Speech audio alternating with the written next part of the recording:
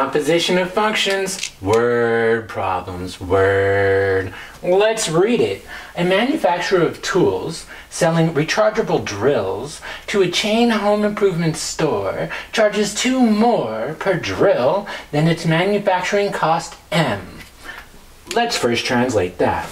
So, this manufacturer, manufacturer, is selling drills for two more than what it cost. So what is that? That's m plus 2. Ooh. Now, oh, let's read the next part. Let's read the next part. Ah, yes.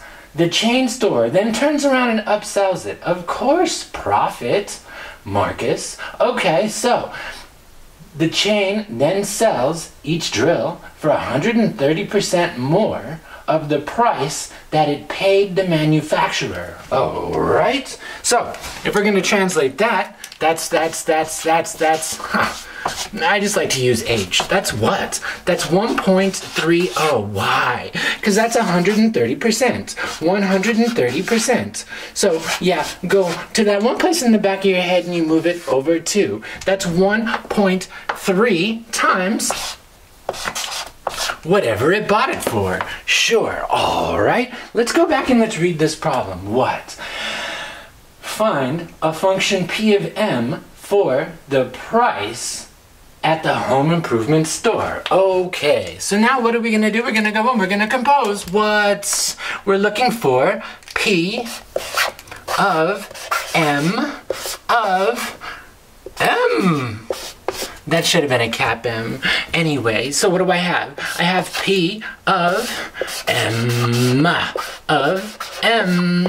So what is that? That's P of my big M is M plus 2. Now what do we do? Everywhere we saw an H, we're going to put M plus 2. And that's what's happening here. This is 1.3 times, now notice I dropped the O, it was unnecessary.